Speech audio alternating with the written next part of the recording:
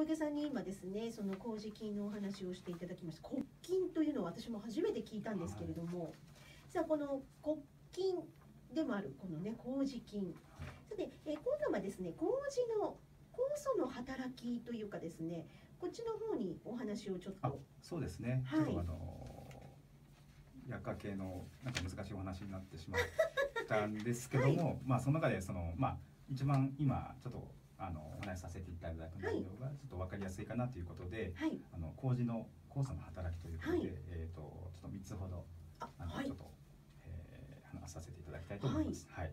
まずはですね、えー麹の酵素の働きということで、はいえー栄養素の分解をする働きがあると。いうことでですねえー栄養素を消化吸収しやすく、えー分解すると。うんで、旨味を感じるアミノ酸を生み出したり、はい。えー食物をですね柔らかくする力がありますと。だからですね私今点と線がパンとつながりましたけれども、はい。塩麹とかお肉にねそうですね。甘酒とかつけたりすると柔らかくなるのはここですね、はい。そうですね。なるほど、は栄養素の分解ということですね。はい。い。で次にですね消化のサポートはいという形で、はい、はい二つ目、麹のですね、えーアミラーゼがでんぷんを、えーブドウ糖に変えると。で、プロテアが、えータンパク質をアミノ酸に分解します。で、酵素の力によってある程度分解された状態で摂取できるため、えーまあ何が言いたいかというと最終的にですね体内で消化吸収がしやすくなる。ああなるほど、はい。消化が良くなる。消化が良くなる。っていうことですよね、はい。そしてすぐ栄養になる。吸収されやすい、はいはあ優秀ですね。消化のサポートもしてくれる。サポートはいそうですね。はあなるほど。はい、で、えー、3つ目にですね三つ目はい。えー乳酸菌を、えー元気にしてくれる働きがあるということで、はい。えー、と麹のですね、えー酵素によって生み出される、えーオリゴ糖食物繊維がですね、えー乳酸菌に代表される、えー善玉菌ですあね。はいはい、はい、で善玉菌がすごい大好物ということで、えーこれらを餌にして、えー善玉菌が繁殖して、えー腸内環境を良くしてくれると。まあそうなんです。はい、優秀ですね。はい。えっとまあこれ乳酸菌と一緒にこうね食べて、えー、善玉菌が増えはいるということなんですね。はい。なるほど。じゃあも腸にはとてもいいということですね。はいまあ今三つご紹介していただきました。まず栄養素の分解、そしてはい消化のサポート、そして、えー、善玉菌が繁殖してね乳酸菌を元気にしてくれる。はい麹菌って結構優秀ですね。なるほど、骨菌になるのも分かる気がしますよね。なるほど、こんな、えー、麹菌をですね、お味噌にももちろんね、そうですね。たくさん使われていると思うんですけれどもね、こんなにね、あのたくさんこう優秀な機能を持っているこの麹菌を使ったお味噌をはい使ったお料理、お味噌汁とか、はい。まあ麹は先ほど私もちょこっと言いました塩麹そうですね。塩麹を使う。そうですね。お魚、お肉をつけて、うんうん、えー料理をしていただくはい、そうというですよ形ですね。ね。はい。特にあとまあねそうですね。甘酒とかうんうんまあ直接飲んでいただくとはいいう形もはい。昔は甘酒といったらまあひな祭りぐらいしかねなんか飲まないイメージだったんですけれども、今はもう流行っててねどこでもいつでも買えますのでね。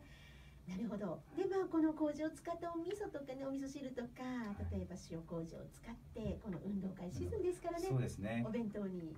もう半分ぐらいもう終わってるところもあるかもしれないですけど、まだまだ運動会や。ね。でこれからはあの行楽シーズンとかになるので、はいそういった時にですね、えーぜひあのお味噌や、まあこの麹を使った商品であのお弁当だとか作っていただいて、はい。そうですね。美味しく楽しく取り入れてはい、いただきたい健康になっていただければと思ってます。はい、小池さん、あの、え、ぜひ女王にもですね、この麹菌というか、このね、麹を使ったレシピをはい。今後もね、あの、はい。作っていただくようにお伝えください。あわかりました。ぜひ。えー今日はですね、あの女王の上司、小池正則さんゲストにお迎えしてお話をお伺いしているんですけれども。さて、えーと、麹からちょっと離れてしまうんですけれども。今週の金曜日にはい。田中特別賞商店はい。はい、えー、味噌問屋の直売会がはい。ありますね。あります。はい、えっ、と9月30日。そうですね。明日ですね、はい。えー、時間はいつも通り？いつもで、えー、10時からはい。3時までなってますので、はい。はい、で今回は、はい。えーまあ、信州の、まあ、いつもあのお出ししている、はい。あの黄金味噌というのと,、えー、ともう一つはですね今回はあの北海道の、お。えーお味噌ということうでん。北海道原料を使用したお味噌をちょっと、えー、40キロほどはい。あのご用意しましたので、はい。あのぜひあのご賞味いただければと思ってあおります。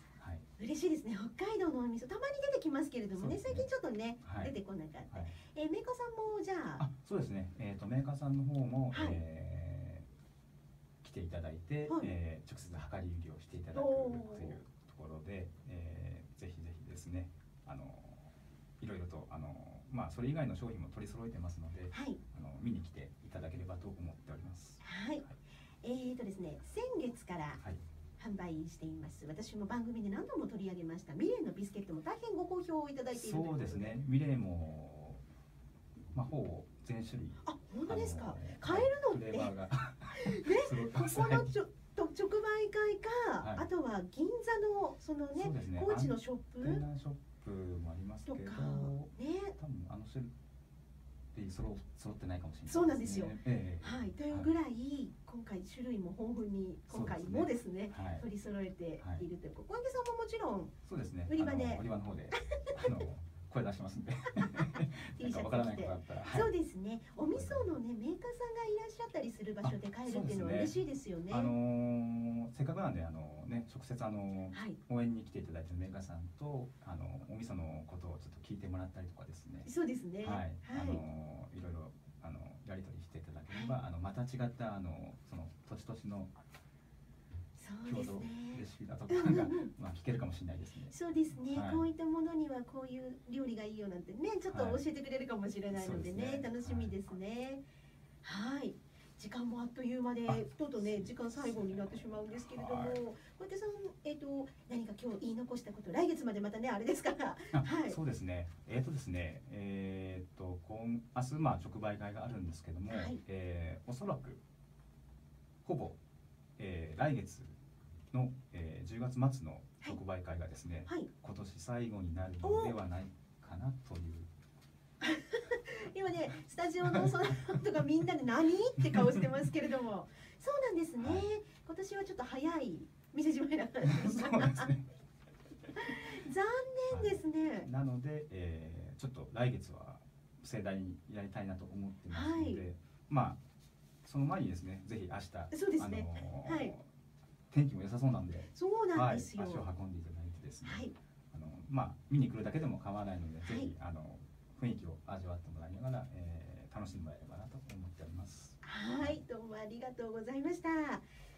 という間のお時間になってしまいましたけれども、この時間はですね、えー田中特別商店女王のレシピ、毎月ですね、月末に、えー登場してくださる女王の上司であります小池正則さんをゲストに今日は、えー、麹菌、そして麹についてお話をお伺いしました。さて小池さん、えー今日はですね、あ今日はですねというかこ今月からですね、はいえー番組の最後に小池さんのおすすめ一曲コーナーというのがありまして、はい。もう早速ね今日選んでいただいたんですよあね。そうですね。はい、はいそれのご紹介をじゃあしながらお別れしましょうか。はい、はいすいません、よろしくお願いします。はいえっ、と、まあ、私の知人の、はいえー人になるんですけども、はいまあ、同じ川口の、えー在中で、えーまあ、近くに住んでいる方なんですけども、はいえー森隆さんという、森隆さん。はいはい。えー方がいらっしゃいまして、まあ、はい音楽関係に携わっている方なんですけども、はいえーその方が作られた、えー歌の中からですね「はいあの希望」という、はいはい、歌をですねあのリクエストさせていただきたいと思います。はい、川口在住なんですねそうで。すね。はい。森さんも聞いていただけてるかな？聞いてるかな？はい、はいということでじゃあ今週の一曲、はいえー小池さんが選んだ一曲ですね。えー森隆さんで希望を聞きながらお別れしましょう。小池さん今日はどうもありがとうごはい、ざいました。ありがとうございました。